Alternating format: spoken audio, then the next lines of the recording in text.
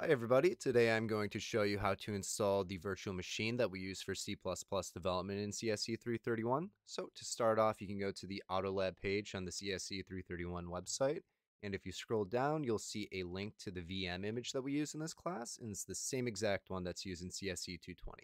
So if we click on that, it'll redirect us to Dr. Blanton's website, and you can download the most recent VM image. And since it's a pretty large download, I've already gone ahead and done that and we're going to run this using VirtualBox, which you can get from virtualbox.org. And if you click on the blue button here, you can download the installer.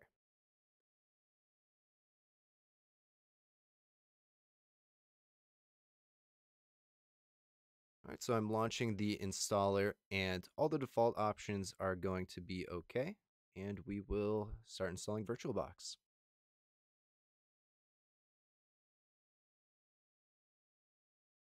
All right, so we have VirtualBox installed and we're ready to import our VM image by clicking on tools here and then import.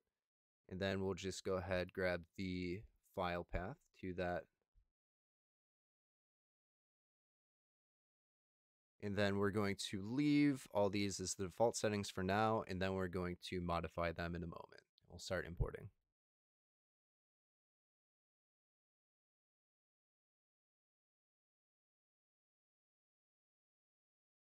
All right, so now our VM is imported, but before we launch it, I want to edit a few settings. So under general here, if you go to advanced, you can enable clipboard sharing and drag and drop functionality by setting them to bidirectional. Under system, we should increase the RAM. I recommend around four gigabytes. I probably wouldn't do any less than three. And we can make the VM a little bit more responsive by maxing out the video memory. And now we're ready to start it up and it's going to do some installation stuff.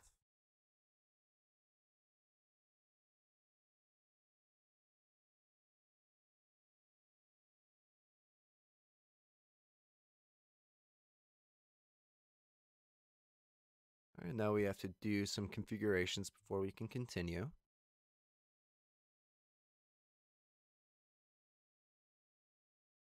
And now we need to create our user.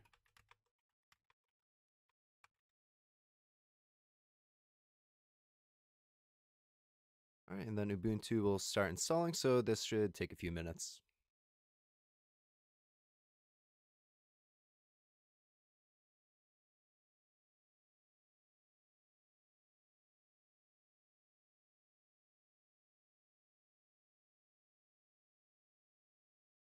All right, now Ubuntu is done setting up, and we don't have to worry about upgrading to Ubuntu 22. And we don't have to worry about that either.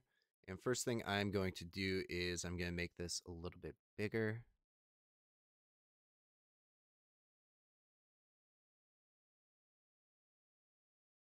Okay. And now we're really all set up and ready to go. So here you can see in this upper left hand corner, there's a drop down with a whole bunch of software already pre-installed onto this machine. So Firefox is pre-installed as a web browser, and then text editor wise, there's all sorts of different flavors of Vim, and there's Emacs. Um, but say there's something that's not here that you want, you can click on software here, and this will open up the Snap Store where you can search for all sorts of different programs and install the snap version of the app. So say I want a new text editor, I can look for Sublime, install that.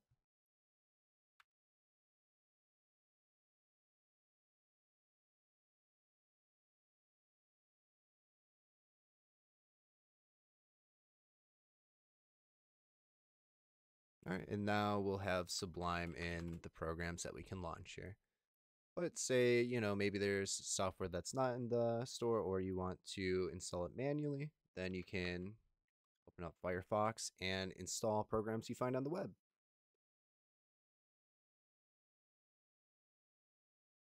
So say I want to use VS Code as my is my text editor. I can go ahead and download the .deb file from the internet.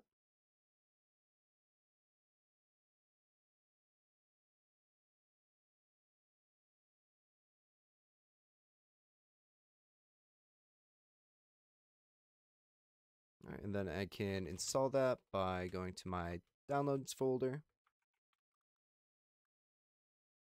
And then I'm going to go ahead copy the name of the file with Control Shift C. And then I can install it using the Debian package manager by doing sudo dpkg-i and then I can do Control Shift V to paste in the name of the file. Then it will start installing it like that.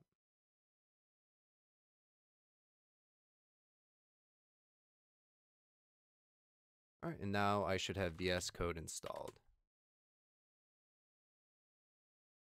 And there we go.